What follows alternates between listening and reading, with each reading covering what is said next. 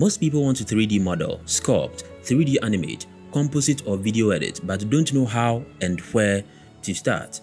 In the description of this video are complete free courses ranging from Cinema 4D, Blender, 3ds Max, Maya, Side Effects Houdini, Adobe Premiere Pro, DaVinci Resolve, compositing in Blackmagic Fusion from novice to expert, complete beginner's guide to After Effects, from beginner to expert texturing in Substance Painter and many more.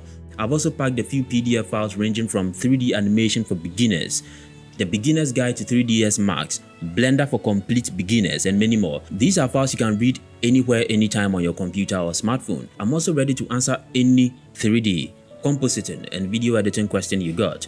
Kindly leave them in the comment section below or by email. Don't forget to subscribe for more courses and tips.